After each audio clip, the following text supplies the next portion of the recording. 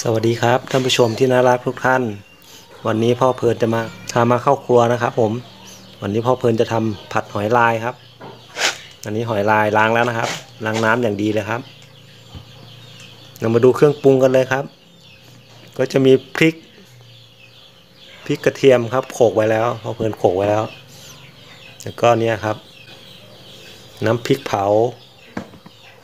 อันนี้นมสดนะครับ ก็จะมีน้ำมันหอย น้ำตาล ผงปรุงรสครับ น้ำปลานี่ก็ใบโหระพาครับ โหระพาเราไปดูวิธีทำกันเลยนะครับ ก่อนอื่นนะครับ เปิดแก๊สเลยครับ ใช้ไฟอ่อนๆนะครับ ไม่ต้องใช้ไฟแรง ใส่น้ำมันลงไปครับ ใส่นิดเดียวครับ ไม่ต้องใส่เยอะครับ ใส่น้ำมันลงไปแล้ว ใส่พริกลงไปเลยครับ ใส่พริกตามเลย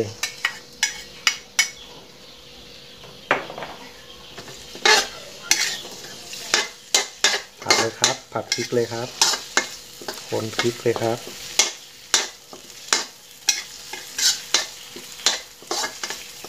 หอมหอมของพริกกับกระเทียมเริ่มขึ้นมาแล้วครับ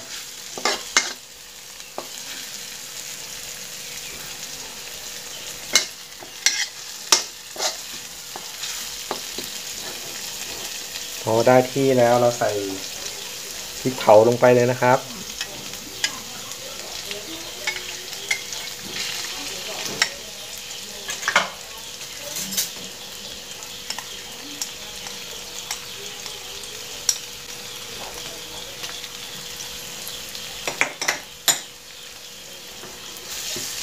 ใช้ไฟกันอ่อนนะครับผมไม่ต้องใช้ไฟแรง ถ้าใช้ไฟแรงพริกเผาจะไหม้นะครับ คนเลยครับ คนให้เข้ากันเลย ผัดให้เข้ากันเลยครับ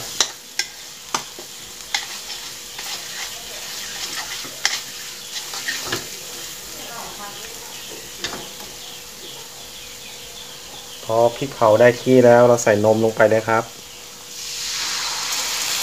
ใส่นมสดลงไปเลย แล้วก็ใส่น้ำนิดนึงครับ ไม่ต้องใส่เยอะนะครับน้ำ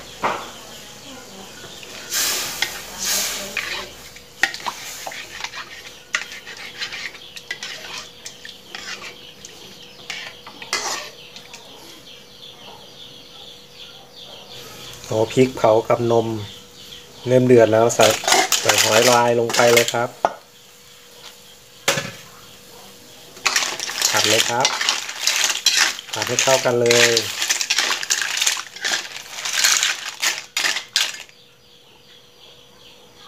อันนี้เราปรับไฟให้ปานกลางได้นะครับ แต่ไม่ต้องใช้ไฟแรงเยอะผัดจนกว่าหอยมันจะอ้านะครับ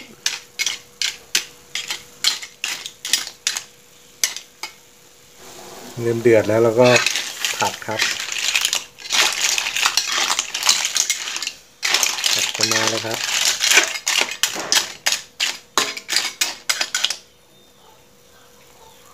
ตอนนี้ก็รอครับรอหอยสุก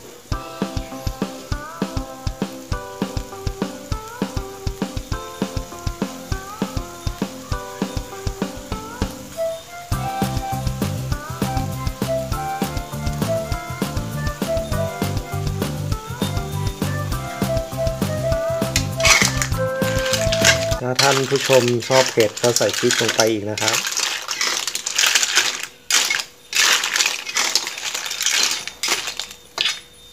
แต่พ่อเพลินไม่ชอบเผ็ดเขากินเผ็ดไม่ค่อยได้ ก็เลยใส่พริกนิดเดียวครับ นะครับ หอยเริ่มมาแล้วครับใกล้สุกแล้วครับ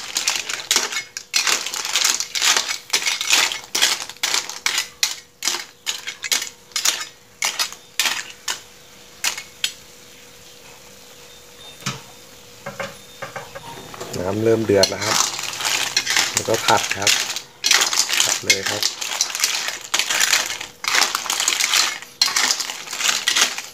ความหอมของนมนมสดนะครับ แล้วก็น้ำแล้วก็น้ำพริกเผาขึ้นมาเลยครับ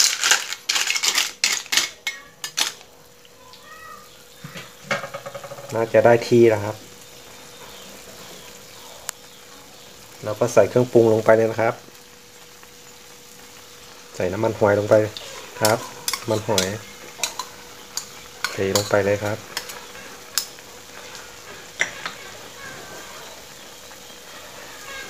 น้ำตาลแล้วก็ผงปรุงรสครับ เทลงไปเลยครับ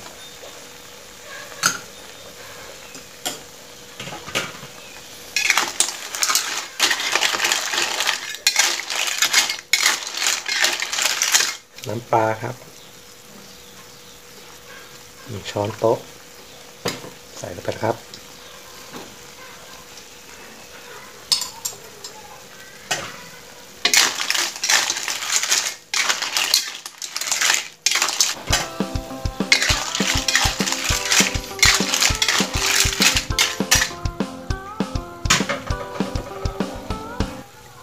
ชิมครับ ชิมเลยครับ อืม อร่อยครับกลมกล่อม หวานหอยลายด้วยครับ แล้วหวานน้ำตาล พอดีนะครับ รสชาติ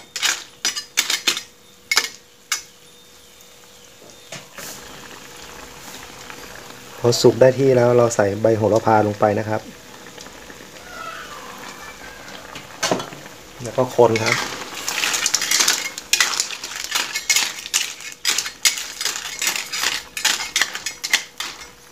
อมครับหอมใบโหระพามากเลยนี่จะสุกได้ที่แล้วครับเราเปิดขออนุญาตปิดแก๊สเลยนะครับ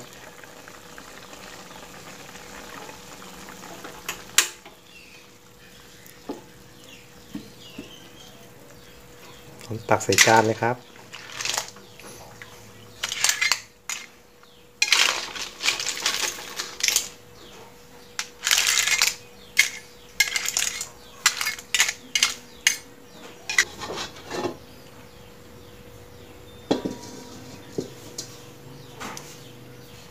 เสร็จแล้วครับ ผัดหอยลายแบบง่ายๆ ไม่ต้องยุ่งยากครับครับ หน้าตาน่ากินมากเลยครับ ถ้าชอบคลิปนี้อย่าลืมกดไลค์กดแชร์ กด subscribe พ่อเพลิน Channel ด้วยนะครับ ขอบคุณครับ